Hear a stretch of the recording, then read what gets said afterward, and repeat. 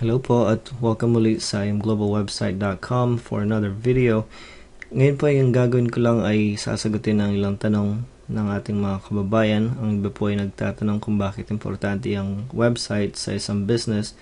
At yung isang question naman ay dun sa mga alam na yung importansya ng website sa isang business, gusto po nilang malaman kung ano po ang features po ng ating mga websites. So, I'm saying websites kasi dalawa po, or actually, tatlo yung ating mga designs, pero dalawa lang po yung papakita ko sa inyo ngayon. Ito po yung light blue, at ito naman po yung red. Okay?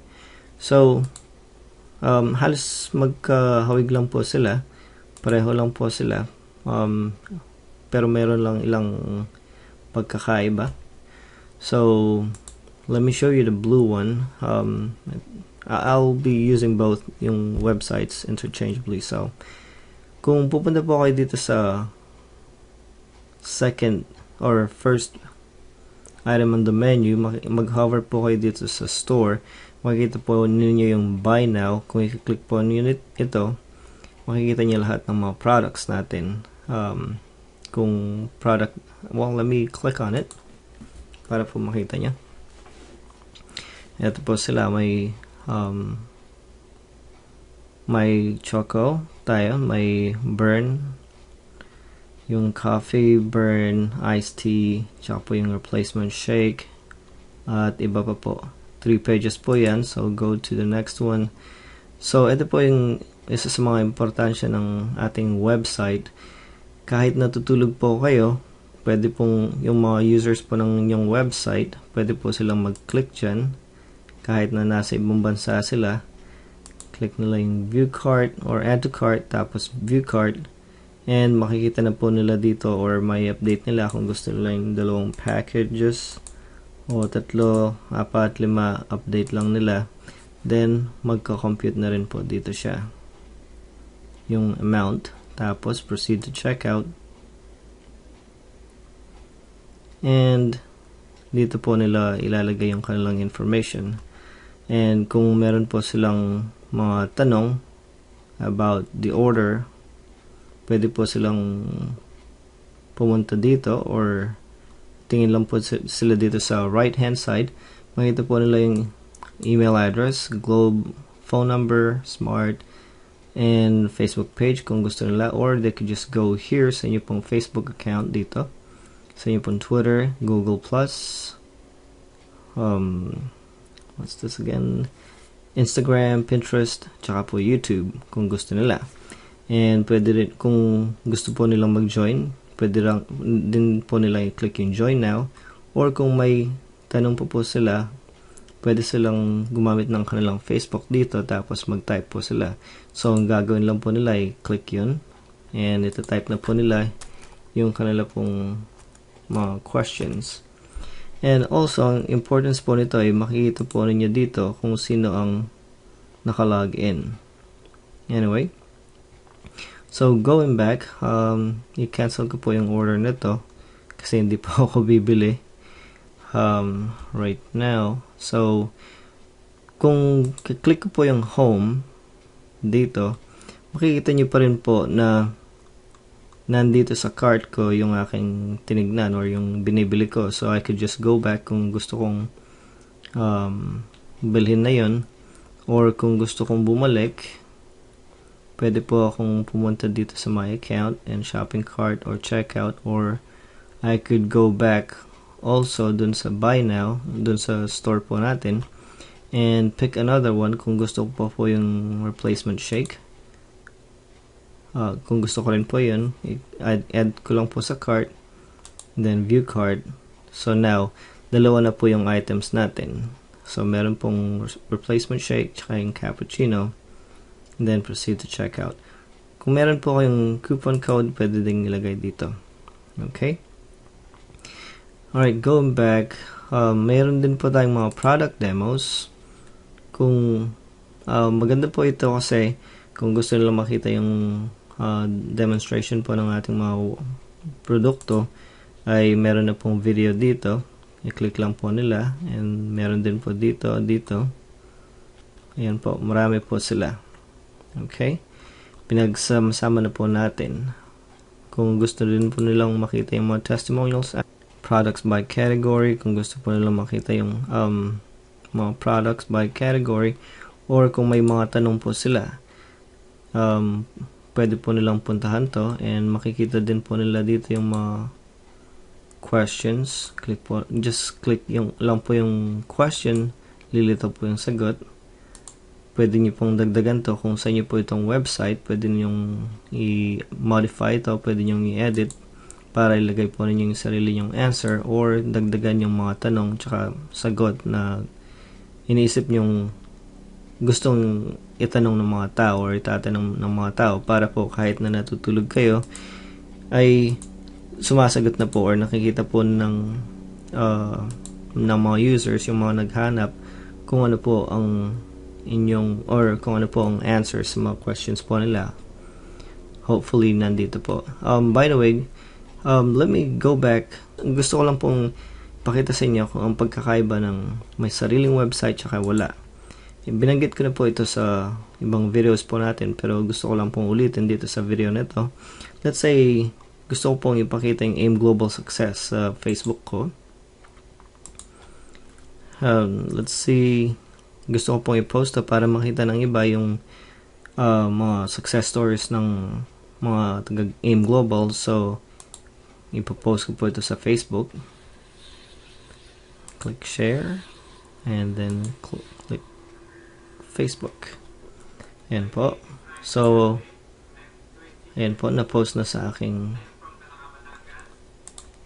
So, yan, na-post na po sa aking Facebook. I-check po natin. So, ayan po. Mag-show up po yung video na nakuha ko sa, sa Facebook. At ang makikita ng mga tao ay ganito. Ryan Recalde success story, add me, Facebook, John Rodriguez. Hindi po ako yun. So, ang problema po dito ay baka kala nila ang pangalan, ito po yung Facebook ko at ito po yung phone number ko. Or kapag kinlik po ng tumitingin nitong video, mapupunta po sila dito sa Facebook po ni John Rodriguez. Let's go back. Another problem is kung i-click po nila to, at panoorin sa YouTube, then mapupunta po sila dito sa YouTube po ni John Rodriguez. And baka dito na rin po sila magtanong. Ngayon, kung hindi naman po sila magtatanong doon, ma maaring magtanong po sila dito mag-comment sila dito. And then, ang mangyayari po ay baka gawin ninyo ay sagutin din po nyo sila dito or back and forth mag magsasagutan po kayo by Facebook. Uh, ma, mag-work din po yun, kaya lang ang problema ay parang baka masayang po yung oras ninyo sa kasasagot sa isang tao na hindi naman pala bibili or hindi naman pala magjo-join ng AIM Global. Pero kung ang ginawa po ninyo, let's say for example, meron po tayong success stories dito. Pili po tayo sa isa sa ating mga videos ito po yung mga videos po natin na success stories. Iba-iba po yan. Uh, marami pong pages na success stories yan. Gusto ko lang po ipakita sa inyo. Let's say, yung success story po nito ni Dr. Dulay ay gusto po natin i-share sa ating Facebook. Ito po siya.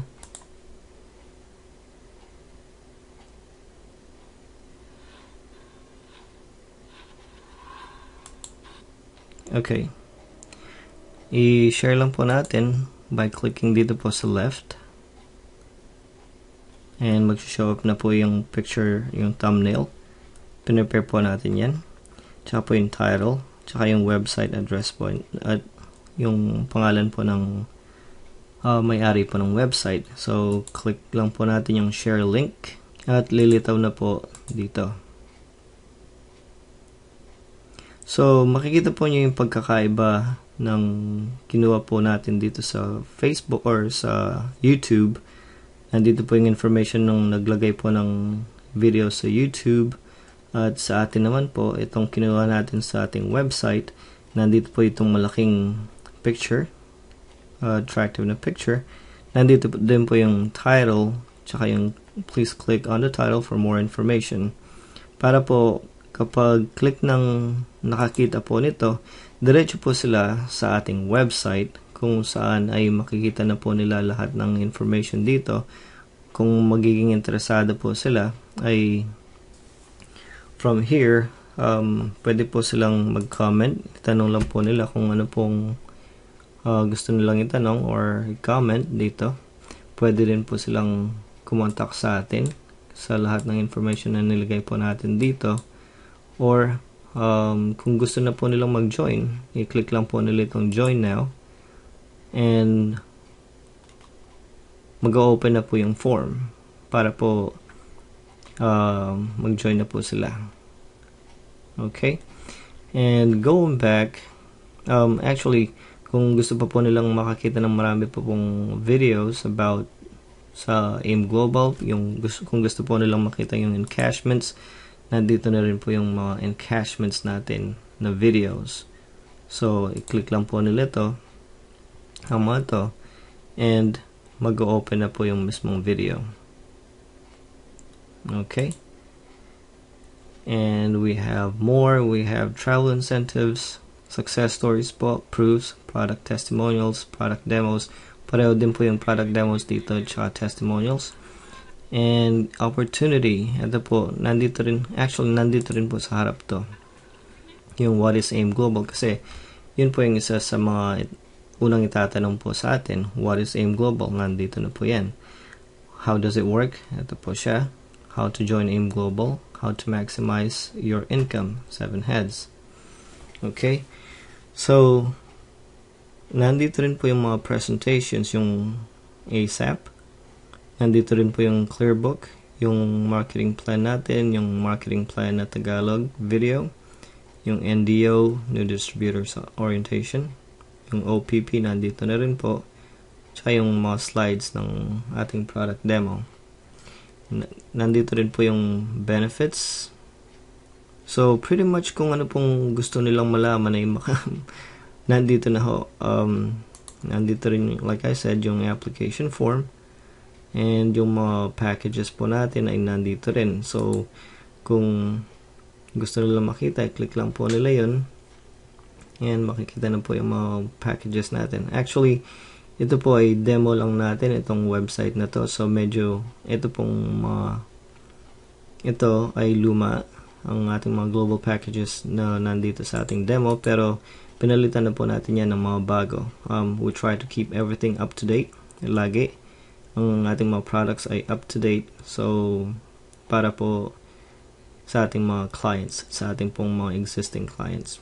So kung may blog po kayo, click lang po dito sa blog, yung tools, like I said, nandito po yung training sa uh, mga videos po halos ito. How to encash, how to encode multiple accounts, 2015 NDO, ASAP marketing plan, special training, um, leaders training, and much more.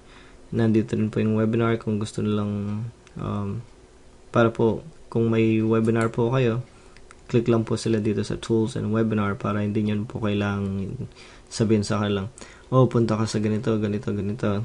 Um, all they have to do is go to tools and then webinar. Nandito po yung calendar also. Company profile, board of directors, business partners, disclaimer, live foundation, and contact us kung meron pa po silang ibang mga katanungan. Um, actually, they could also contact you dito po.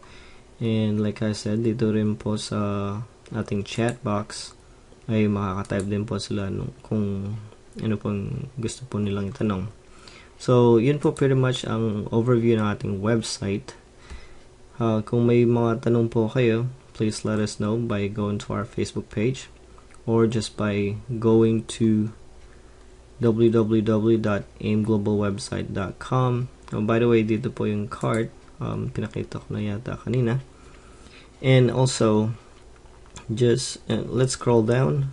Ito po yung slides kung yung nandito po yung mga gusto po nating ipakita sa mga gumagamit po nating website. Pwede po nating palitan to. Uh, ang pwede niyo pong palitan ang mga to kung gusto po niyong palitan uh, kapag ito na po ay inyong website. So, ito po yung mga success stories po natin. Uh, pareho din po sila dito. Pero gusto po nila ating ipakita yung mga thumbnails nila para ma-track po yung ating mga prospects. Ito po yung mga encashments. Kapag click po nila ito, makita nila lahat yung encashments. And same with success stories. Makikita po nila lahat ng success stories natin. Product demos, same. And then foundational training, yung 9 frequently asked questions, 2015 intensive product demo, etc. etc. Nandito rin po yung mga ibang training, special training. Um, I'll also, I just want to show you yung pong mga, yung ating mga presentations. Tulad nito, yung ASAP, um, tsaka po yung Clearbook. Let's say ito po yung Clearbook. Yung iba po dito ay mga slides. Ang iba naman ay mga videos from YouTube. So, ito po yung slide. Ang click lang po nila yung uh, arrow na papuntang right para mag-scroll through the slides po natin.